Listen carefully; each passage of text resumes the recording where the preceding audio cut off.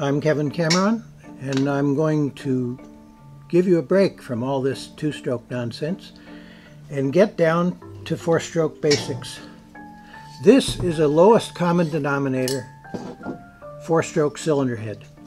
It is a single cylinder, one combustion chamber, two valves, intake, exhaust, cylinder head from a 250 BSA from a bygone era. What this can show us is how the intake process works. I've put a carburetor on here. This is one of the legendary GP carburetors that comes from the era of one man, one machine, one cylinder, a Lucas Magneto, and an Amal carburetor. Intake air goes in, flows down the intake pipe into the cylinder head, and when the valve lifts, it flows out around the valve into the combustion chamber to follow the retreating piston, which, when this is all assembled properly, is below the head, descending. Intake air, with fuel mixed into it by the carburetor, comes out from under the valve at several hundred feet per second. This is essential for rapid combustion because a mixture of gasoline and evaporated gasoline and air by itself burns quite slowly, a matter of a foot or so per second.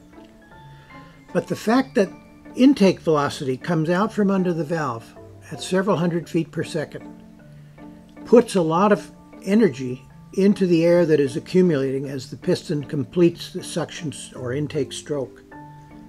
When the piston comes back up and compresses that gas, all of that whirling and turbulent motion is confined into an ever smaller space, causing it to whirl faster.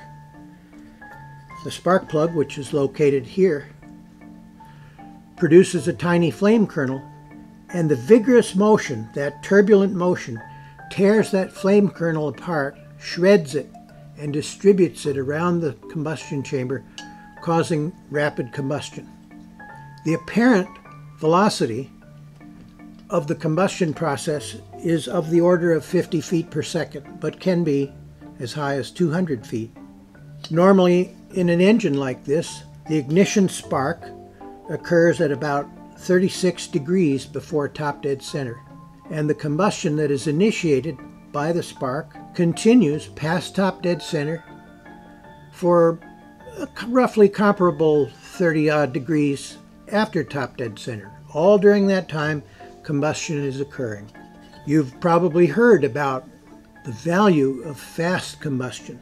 The value of fast combustion is real because the longer you have flame going on in this chamber, the more heat is being driven into the cylinder head and driven into the crown of the piston, from which it is lost. It's not there anymore to push the crankshaft round and round. So designers take care to make the combustion process pretty much as fast as they can. The intake valve has the following parts. This is the valve head. I think this looks like a floor lamp base or a manhole cover on a stick. This is the stem. This is the keeper groove or collet groove. And this 45 degree ground surface here matches the valve seat, also cut at that angle, in the cylinder head. So when the valve closes, those two 45 degree surfaces seal against each other. The valve is held closed by springs. In many engines, there is only one spring. In quite a few, there are duplex springs. They sit on a steel washer, a valve spring compressor, which is like a glorified C-clamp, presses the spring down with the spring retainer on top of it until the valve stem sticks through the retainer far enough that you can reach in there and put these little collets. They're tapered, they're semicircular. Put the little collets into the groove on the stem and then let the retainer come back against them and that locks the spring retainer to the valve stem. These springs are much too stiff for me to compress them with my fingers. So when this is all assembled, how does the valve get opened? In the case of this engine, there's a so-called rocker arm box or rocker box. Inside of it are these rockers. Coming up from the crankcase level are push rods that push on these parts. This part here presses against the exhaust valve stem and this one against the intake valve stem. That's assembled on top. When the push rods make their movements, the rocker arms transfer that movement to the valves.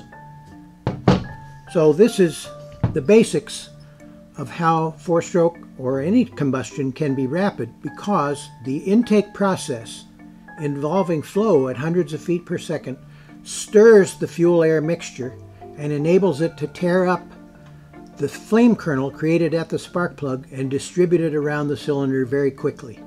If combustion were much slower than it is, these engines wouldn't be able to operate at 6,000 RPM. But thanks to turbulence, they can. Turbulence is what spreads the flame in the combustion chamber rapidly. There's a lot of science to the shaping of ports and valves in order to allow the maximum flow, intake, and exhaust.